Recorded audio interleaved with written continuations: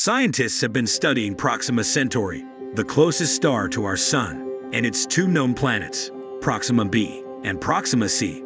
The light emission was detected when the exosolar system around Proxima b was non-obstructed by the host star around the time of the new moon. The emission appears to be from PCO2, likely due to carbon dioxide ice in the exosolar system. Proxima b orbits very close to its small red dwarf star, so it will likely be tidally locked with a permanent night side. The light emissions were observed in wavelengths between 1.6 and 2.5 meters, a surprising discovery considering the planet's exoplanet system should have been at its greatest heat emission. Further observations with the James Webb Space Telescope unveiled water vapor, carbon dioxide, oxygen and other substances swirling around Proxima b, potentially indicating the presence of an atmosphere conducive to life. With about 65% of Earth's sunlight, Proxima b's surface remains warm enough to prevent water from freezing into eternal ice. These findings indicate that the exosolar system is not completely dark and contains water vapor and carbon dioxide. The question arises here, can Proxima b survive the cosmic challenges and harbor life? Proxima b receives significantly higher amounts of high-energy radiation, such as X-rays and extreme UV radiation than Earth. These high-energy radiations can erode and escape gases and liquids from the planet's surface, making it crucial to determine if Proxima b can maintain its water and atmosphere over billions of years. The nearest known exoplanet to Earth, the planet orbiting Proxima Centauri, experiences some pretty nasty space weather from its parent star. But previous work on the space weather of Proxima relied on a lot of assumptions. The bad news is that new research has confirmed the grim picture. The nearest star to Earth, Proxima Centauri, hosts a small rocky world in the habitable zone of that star. The habitable zone is important because that's the region that astronomers believe where a planet can potentially host liquid water. Too close to a star and the intense radiation will simply boil away any water. Too far from a star and the planet won't receive enough warmth and all of its water will just turn to ice. Astronomers are very interested in habitable zones around stars because that's where life as we know it has the best chance of appearing. So it's no wonder that astronomers are incredibly interested in Proxima b, the name we give to our nearest known exoplanet. Unfortunately for any life that may call that planet home, they're going to have a rough time of it. Proxima Centauri is a red dwarf star with only a fraction of the mass of the Sun. Because of their small sizes, the nuclear fusion cores of red dwarf stars are much closer to their surfaces. This makes their surfaces much more chaotic than stars like the Sun and that increased turbulence amplifies incredibly strong magnetic fields. In turn, those strong magnetic fields can launch extremely strong blasts of high-energy radiation and particles into the surrounding system. At far enough distances away from a star, this isn't a big deal. But because stars like Proxima Centauri aren't nearly as luminous as the Sun, their habitable zones are much closer. Close enough that habitable might be too generous of a word. Studying Proxima b presents several challenges due to its relatively small size and the bright glare of its parent star. It is difficult to image the exoplanet directly, and observations often rely on detecting its effects on the parent star's light or studying its atmosphere using spectroscopy. Through techniques such as the transit method and spectroscopy, scientists have meticulously pieced together a portrait of this distant world. The transit method, employed by instruments like the Kepler Space Telescope, involves detecting the periodic dimming of stars' light as an exoplanet passes in front of it. Spectroscopy, on the other hand, dissects starlight passing through an exoplanet's atmosphere, unveiling the chemical composition that may hint at the presence of life.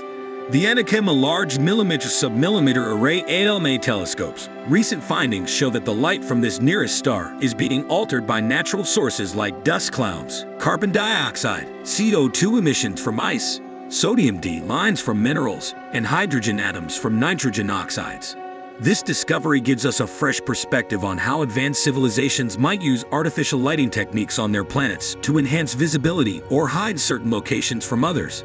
Have humans finally found a hint of life beyond Earth with our ongoing search for an Earth-like planet? Could the James Webb Space Telescope's discovery of city-like lights on Proxima b, a planet near our Sun, be the breakthrough we've been waiting for? Is intelligent life reaching out from the shadows?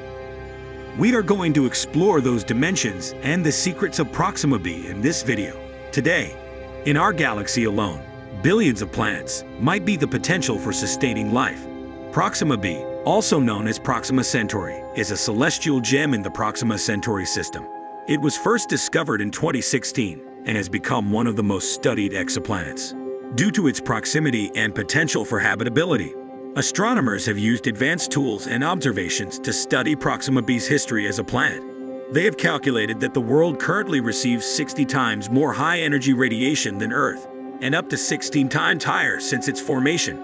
During the first 100 to 200 million years after its formation, Proxima b might have lost about one ocean's worth of water due to the early intense radiation.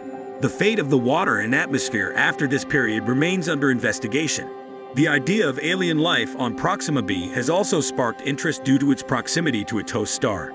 With the vastness of the universe and countless stars and planets scattered across the cosmos, Pinpointing the most likely locations for intelligent life becomes a complex puzzle. But why did recent discoveries propel Proxima b into the spotlight as a prime candidate in the search for life beyond Earth? Recent advancements in the study of technosignatures have heightened the prospects of detecting artificial light on Proxima b.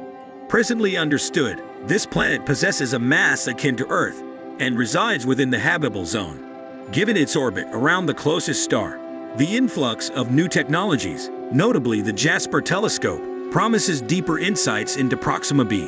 While the simultaneous emergence of civilizations around neighboring stars seems improbable, artifacts from a distant civilization could potentially be identifiable, suggesting researchers Elisa Tabor from Stanford University and Avi Loeb from Harvard University.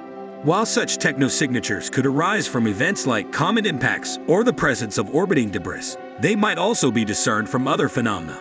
The distinct nature of artificial light from starlight was explored last year by researchers Elisa Tabor and Avi Loeb. They embarked on a virtual quest for alien light online, but the preliminary results were somewhat inconclusive due to the tool's nascent stage of development. Notably, the JIDDIT-OST has set its sights on the Proxima b planet. Proxima b is a rocky exoplanet about 1.27 times the size of Earth residing within the habitable zone of its parent star, an M-class red dwarf and part of the Alpha Centauri triple star system. Proxima b is our closest neighboring star, only about 4.2 light-years away. One reason could be the Goldilocks zone. The Goldilocks zone is a region around a star where conditions are just right for liquid water to exist on a planet's surface, potentially giving rise to life.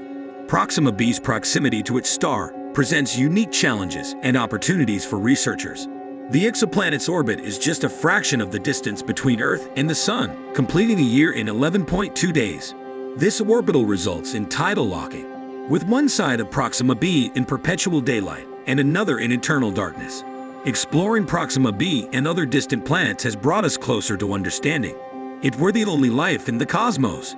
The potential of finding alien life has ignited more curiosity and studies civilizations on other planets might prioritize the evolution of their lighting systems, potentially employing luminous orbital mirrors to cast sunlight onto their planet's daytime side, a spectacle our telescopes could capture.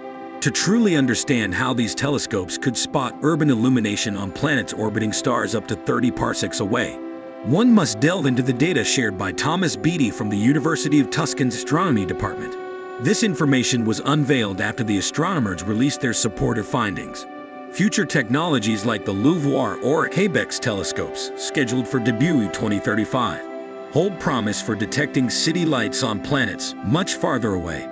The distance between one parsec and the nearest star is approximately 326 light-years, and these advanced telescopes might be able to peer deeper into the cosmos and uncover more potential for extraterrestrial civilizations. Now imagine if we had 100 more people living in cities, could this boost our capability to spot far-off civilizations? And when we talk about 100% urbanization, are we referring to the idea of a global city? It's not just a wild thought. It's plausible that a highly developed civilization could cover its whole planet with a vast city. How noticeable would such a planet be? What are your thoughts about this vast exploration by humans? Put your thoughts into the comment section below. To stay updated, Please subscribe to the channel and turn on the bell notification. Don't forget to like and share the video. See you soon with such informative videos. Till then, thank you for watching this video until the end.